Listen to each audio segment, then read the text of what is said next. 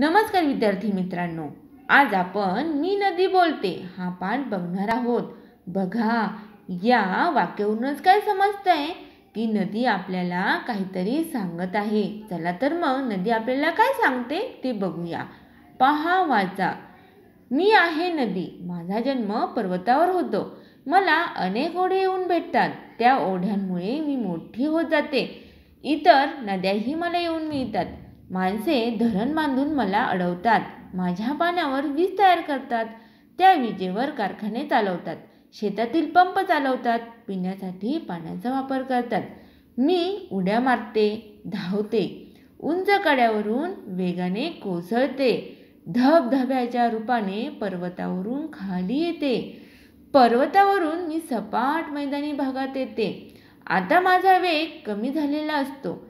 माझ्या दोन्ही किनाऱ्यांवरील परिसर मी हिरवागार करते.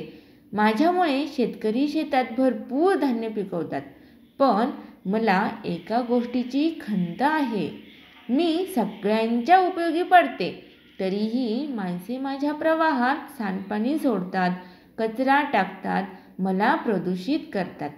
माणसांच्या वस्त्या छोटी गावे शहरे यांच्याजवळून वाहत जाताना मी जास्तच प्रदूषित होते. तरीही मी पुढे पुढे जातच राहते. मी कुठेही थांबत नाही.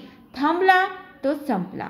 असेच मी सगळ्यांना सांगत असते. शेवटी मी सागराला जाऊन मिळते आणि नदी म्हणून माझा प्रवास थांबतो. बघा नदीचा जन्म कुठे होतो? तिचा उपयोग काय काय? आणि तिला कशाची खंत आहे? हे आपल्याला नदीने इथे सांगितलेले आहे. नदीचा जन्म कुठे होतो? तर पर्वतावर होतो. आणि तिला ओढे भेटतात. त्याच्यामुळे ती काय होते? मोठी होते. ओढे भेटतात. तसेच नद्याही येऊन मिळतात. पुढे बघा ही नदी वाहत जाते. आणि तिच्याच पाण्यावर काय करतो आपण? धरणे बांधतो आणि वीज तयार करतो. वीज तयार झाल्यामुळे कारखान्यात पिण्यासाठी शेतात या पाण्याचा उपयोग होतो. बघा या नदीच्या पाण्यामुळे आपली ही सगळी जीवनसृष्टी जिवंत असते जगत असते. या पाण्यावरच आपण धान्य पिकवतो आणि ते खातो. नदी काय करते? उड्या मारते धावते आणि जे उंच कडे असतात ना त्याच्यावरूनही कोसळते. आणि पुढे काय करते? धबधब्याच्या रूपाने ती पर्वतावरून खाली येते. खाली आल्यानंतर साहजिकच ती सपाट मैदानी भागात तिचा प्रवास चालू होतो. त्यावेळी मात्र तिचा वेग काय झालेला असतो? कमी झालेला असतो. आणि जिथे ती वाहत जाते तिथे ती सर्वत्र हिरवागार परिसर निर्माण करते. तिथे लोक धान्य पिकवतात. बघा आपली जी शेती हिरवीगार होते ना ती यामुळेच. ती सगळ्यांच्या उपयोगी पडते की नाही? तर पडते. पण बघा ना तिला एका गोष्टीचं वाईट वाटतं. तिला खंत वाटते. ती कोणत्या गोष्टीची? ती सगळ्यांच्या उपयोगी पडते. पण जे आहे ते ती सर्व आपल्याला खरं खरं सांगत आहे बरं का? काय सांगत आहे ती? ती सांगते जी माणसे आहेत ना तिच्या प्रवाहात सांडपाणी सोडतात कचरा टाकतात.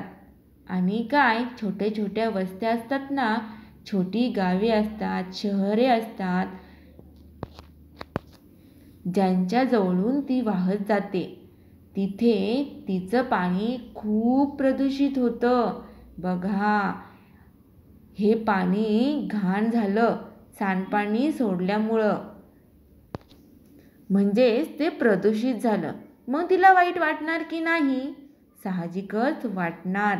पण ती काय करते? तोही विचार बाजूला टाकून तिचं तिचं काम चालूच ठेवते. ती पुढे पुढे जातच राहते. कारण का? तिचं म्हणणं असं आहे की थांबला तो संपला. असं ती आपल्याला सगळ्यांना सांगते. बघा त्यामुळे आपण कधीही थांबायचं नसतं. अभ्यास करायचा कष्ट करायचे आणि मोठं व्हायचं.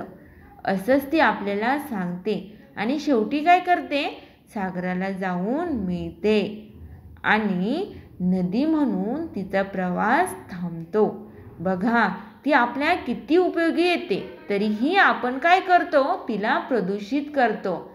त्यामुळे आपण काय करायचं आहे सांडपाण्याची व्यवस्था व्यवस्थित करायची आहे. नद्यांना कचऱ्यापासून वाचवायचं आहे. कचऱ्याची सांडपाण्याची व्यवस्थित विल्हेवाट व लावायची आहे की जेणेकरून तिचे पाणी प्रदूषित होणार नाही.